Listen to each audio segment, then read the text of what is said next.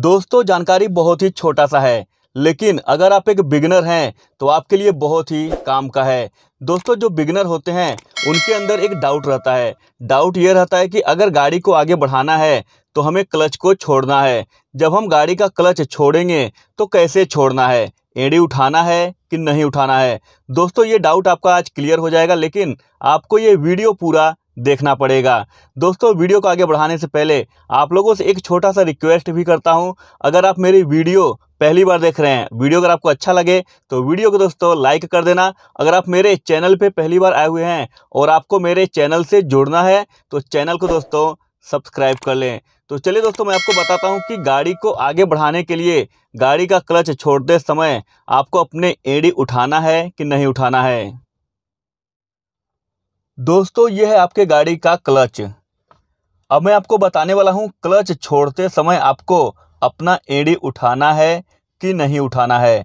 देखिए दोस्तों, अगर आप एड़ी नहीं उठाते हैं तो क्या होता है? पहले मैं आपको वो बता देता हूँ। देखिए, मानो आपने अपनी गाड़ी का क्लच दबा कर रखा है, आपको अपनी गाड़ी आगे बढ़ाना है तो आप अपने क्लच को धीरे धीरे छोड़ेंगे। देखिए, मैं एड़ी को नहीं उठाऊँगा। जब आप धीरे धीरे क्लच को छोड़ते हैं तो दोस्तों आपकी गाड़ी आराम से आगे बढ़ती है, क्योंकि गाड़ी के अंदर कोई झटका नहीं लगेगा। क्योंकि दोस्तों देखिए, एडी, जब आप एडी टिका कर रखते हैं और क्लच को छोड़ते हैं तो एकदम धीरे धीरे क्लच ऊपर आता है। क्योंकि दोस्तों एडी आपने टिका रखा है तो आपका गाड़ी एकदम स्मूथ आगे बढ़ेगा, कोई दिक्कत या परेशानी नहीं होगा। तो चलिए अब मैं आपको बताता हूँ, अगर आप क्लच को छोड़ते समय एड़ी उठा लेते हैं तो क्या होता है? मानो आपने अपनी गाड़ी को गियर में लगा रखा है और आपने क्लच भी पूरा दबा रखा है। अब आप धीरे धीरे क्लच को छोड़ेंगे और आप एड़ी भी उठाते हैं। इस तरह से। दोस्तों, मेरा बहुत ज़्यादा प्रैक्टिस है, क्योंकि मैं गाड़ी चलाते समय एड़ी उठा के ही क्लच को छोड़ता हूँ। तो जब मैं गाड़ी का क्लच छोड़ूँगा एड़ी उठाकर तो अच्छे से आगे बढ़ेगा।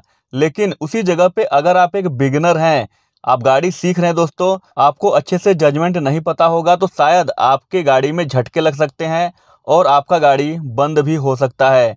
तो दोस्तों, अगर आप एक बिगनर हैं तो आप कभी भी एड़ी उठाकर क्लच को ना छोड़ें। हाँ छोड़ सकते हैं, लेकिन आपको प्रैक्टिस बहुत अच्छा करना पड़ेगा। उसके बाद आप एड़ी उठाकर क्लच को इस तरह से छोड़ सकते हैं। लेकिन अगर आप एक नए ड्राइवर हैं, गाड़ी चलाना सीख रहे हैं तो दोस्तों, आप एड़ी को ना उठाएँ। इस तरह से क्लच छोड़ें, गाड़ी एकदम आराम से आगे बढ़ेगी।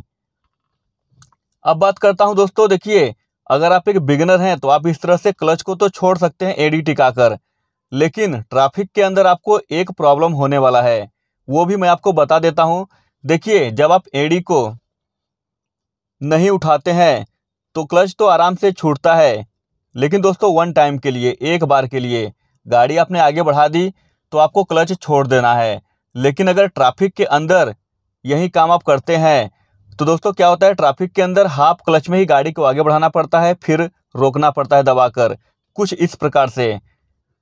जैसे ही गाड़ी आगे बढ़ी तो आप क्लच दबा लेते हैं, ब्रेक भी दबा लेते हैं। तो उस पोजीशन में क्या होगा दोस्तों कि आपका जो ये पैर है धीरे धीरे ऊपर की तरफ़ चढ़ता जाएगा। फिर आपने क्लच को छोड़ा, एडी आपने वहीं पर रखा फिर आपने क्लच को दबा लिया तो आपका पैर आगे धीरे धीरे खिसकता जाएगा। फिर वापस आपने क्लच को छोड़ा उसी प्रकार से। फिर आपने क्लच को दबा लिया। तो देखिए दोस्तों, पैर धीरे धीरे आगे चला जाएगा और एक समय ऐसा आएगा कि आपको गाड़ी चलाने में बहुत दिक्कत होगा। या तो आपको दोस्तों बार बार पैर को इस तरह से खिसकाना पड़ेगा। इस तरह से। जैसे ही पैर आपका आगे खिसकेगा तो आपको अपना पैर फिर नीचे लाना पड़ेगा इस तरह से। तो बार बार आपको ये काम करना पड़ेगा ट्रैफ़िक के अंदर।